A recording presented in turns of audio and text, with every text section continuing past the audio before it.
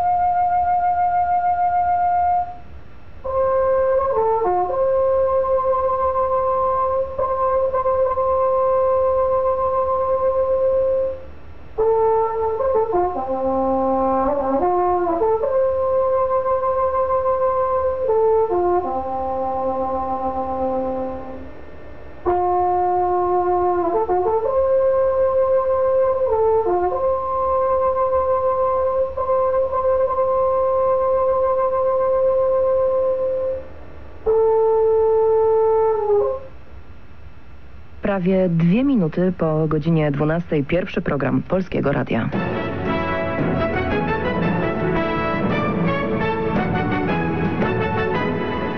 Aktualności radiowej jedynki przedstawi Dorota Wojtalczyk.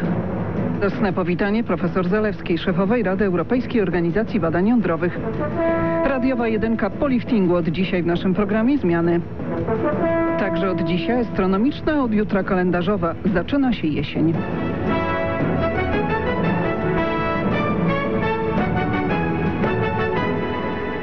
Czuję się jak sportowiec, tak mówiła profesor Agnieszka Zalewska, która w nocy wróciła do kraju jako szefowa Rady Europejskiej Organizacji Badań Jądrowych CERN. Na krakowskich Balicach nauczoną czekała z kwiatami rodzina, także przyjaciele i współpracownicy z Instytutu Fizyki Jądrowej Polskiej Akademii Nauk w Krakowie.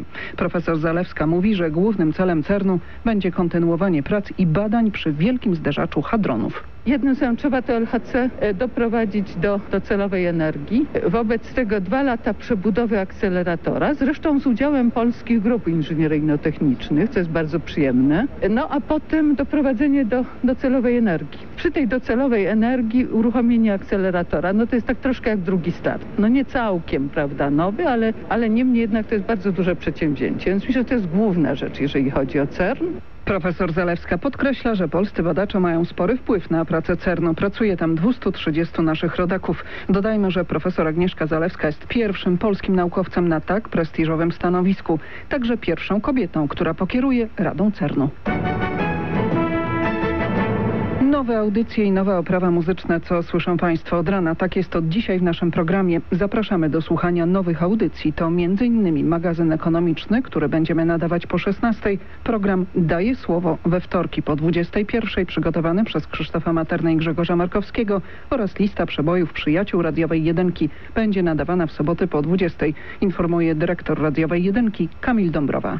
Już dzisiaj zapraszamy na prewydanie, tak bym powiedział, pierwszego wydania listy przebojów, która pokaże nasze oblicze muzyczne. To nie będzie typowa lista, to nie będzie lista 30 czy 40 piosenek, to będzie spotkanie z gwiazdami. To będą oczywiście klasyczne propozycje, na które będzie można głosować przez naszą stronę internetową. Chcemy chwalić się naszym obliczem muzycznym, bo mamy czym i chcemy dać szansę słuchaczom wybierania tych najciekawszych propozycji. Nową oprawę muzyczną jedynki przygotowało studie kierowane przez Andrzeja Karpa i Piotra Wróblewskiego. Zdaniem dyrektora Dąbrowy głębsze wnioski po wprowadzeniu nowej ramówki będzie można wyciągnąć najwcześniej po pół roku. Teraz o sukcesie wrocławskich policjantów odzyskali oni obraz wartości ćwierć miliona złotych.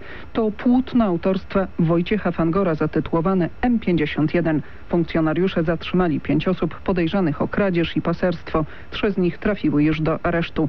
Złodzieje ukradli obraz w ubiegłym roku z prywatnej kolekcji obywatela polskiego, który mieszka w Niemczech. Policjanci ustalili, że po kradzieży obraz trafił do naszego kraju i przechodził z rąk do rąk.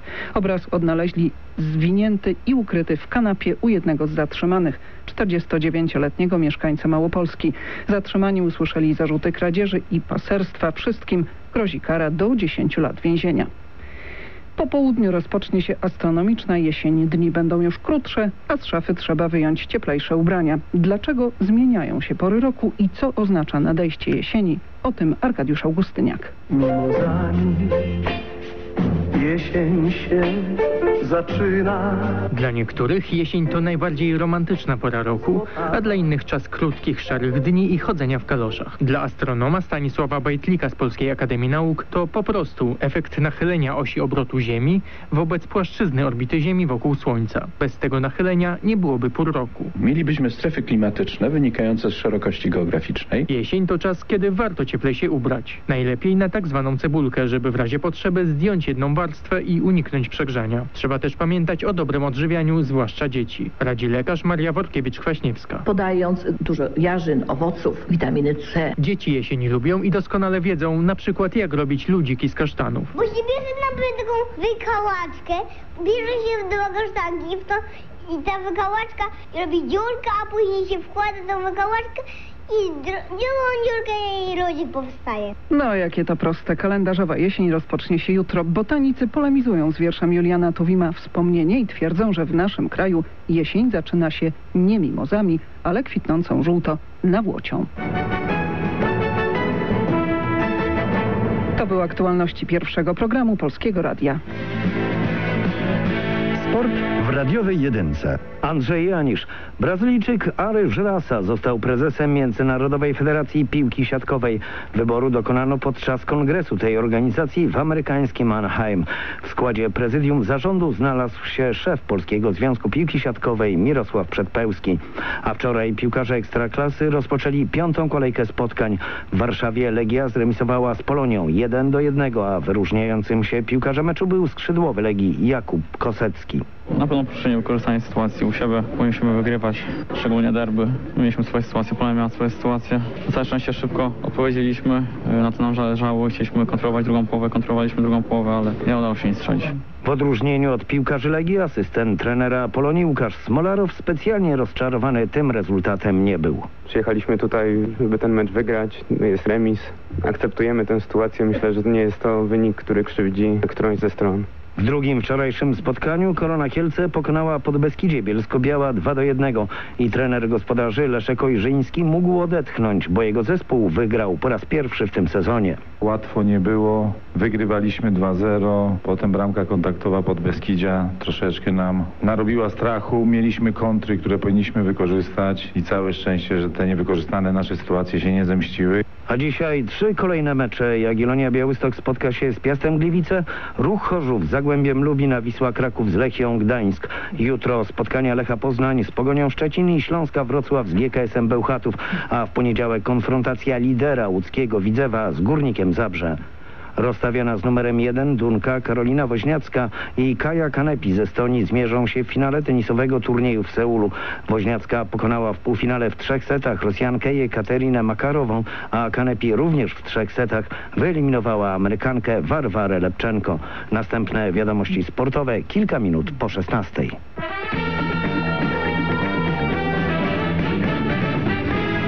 Radio kierowców. Przed mikrofonem Marzena Lipińska. Witam Państwa. Dziś Europejski Dzień bez samochodu, ale na małopolskich trasach spory ruch. Na drodze 40 tuż za Bochnią aż do Brzeska kierowcy jadą z prędkością 30 km na godzinę. Na siódemce korki w obu kierunkach w Słomnikach, ale największe problemy są przed skrzyżowaniem siódemki z Zakopianką. Zator zaczyna się w Chabówce, a kończy za Zabornią. W Śląskim na jedynce jak zwykle trudno przejechać przez Pszczynę. Aż do niedzieli w związku z remontem trasy zamknięty będzie prawy pas ruchu w kierunku Bielska Białej, a w godzinach wieczorno-nocnych zamknięty zostanie przejazd poprzeczny od Oświęcimia do centrum Pszczyny. Sygnał z Żor. Na ulicach odchodzących od Alei Zjednoczonej Europy nie działają światła dla pieszych, spalone żarówki lub przyciski do zmiany świateł. Jak bezpiecznie mają poruszać się piesi? I ta sytuacja trwa już od sześciu miesięcy. Policja informuje, po wypadku udrożniono trasę numer 77 w Sandomierzu. Pogoda.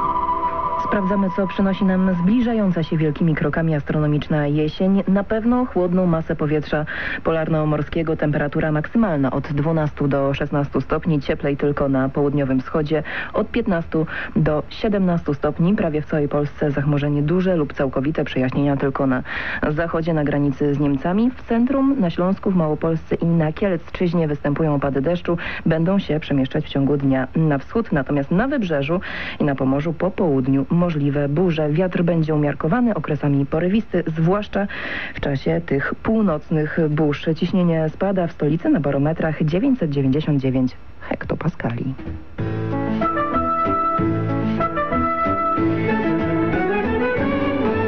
Pierwszy program Polskiego Radia. Muzyka i aktualności. Od dzisiaj komunikat Instytutu Meteorologii i Gospodarki Wodnej o stanie wód głównych rzek naszego kraju. O ósmej będziemy podawać właśnie o tej porze. Stan wody Wisły układał się w strefie wody niskiej, tylko lokalnie w górnym biegu i w ujściowym odcinku w strefie wody średniej i wynosił. W Karsach 21, w ciągu ostatniej doby ubyło 1 cm. W Szczucinie 89, przybyło 6. W Zawichoście 168, tam też przybyło 6 cm. W Puławach 82, ubyło 1. W Warszawie 58, ubyło 4 cm.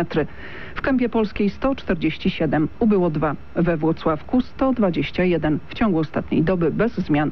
W Toruniu 148, ubyło 5 W Tczewie 251, w ciągu ostatniej doby bez zmian. Na Asanie w Przemyślu 125, przybyło 29 cm. Na Narwi w Ostrołęce 86, ubyło 2. Na Bugu we Włodawie 99, tam przybyło 2 cm. Stan wody Odry układał się w górnym i środkowym biegu w strefie wody niskiej, lokalnie w średniej, w dolnym biegu w strefie wody średniej i wynosił. W Racibierzu- w Raciborzu Miedoni 109, w ciągu ostatniej doby ubyło 5 cm. U Ujściany Sykłockiej 256, w ciągu ostatniej doby bez zmian. W Malczycach 95, ubyło 1 cm. W Połęcku 109, tam ubyło 13 cm. I stan wody Warty, który układał się w strefie wody niskiej, a w dolnym biegu lokalnie w strefie wody średniej wynosił. W Poznaniu 170, w ciągu ostatniej doby bez zmian. W Gorzowie 238, tam przybyło 2 cm. Pierwszy program Polskiego Radia. Muzyka i aktualności.